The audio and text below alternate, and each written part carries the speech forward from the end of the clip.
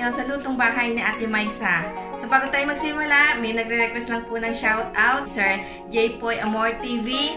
Ah, salamat po sa mga comments at mga suporta nyo sa patuloy na pagsubaybay sa aking mga video, ah, sa mga likes. God bless po sa iyo. Ah, okay, so sa ngayon, magsisimula na po tayo magluto ng ah, pesang bangos para lang po siyang isdang nilaga na may gulay. Ah, ito ay isang masarap at masustansyang pagkain. Kaya po, umpisa na po natin ang pagluluto ng pesang bangos. Ang mga sangkap natin gagamitin, gagamit tayo ng repolyo, pechay, sibuyas, luya, patatas, siling haba, gagamit po tayo ng sabaw. Ang gagamitin natin yung pinaghugasan ng bigas. At panlasa po natin ay patis at asin.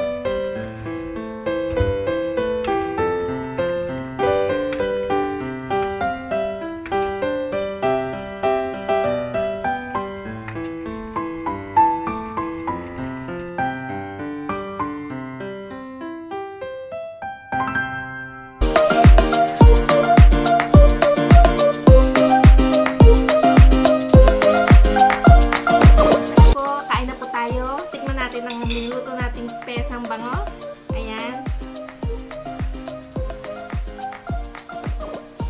Mmm. Masarap.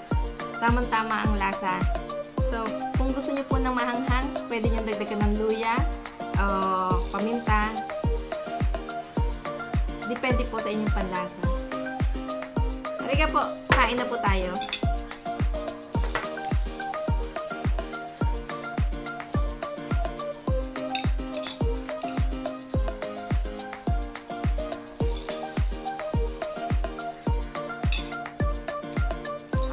Kain po, sarap.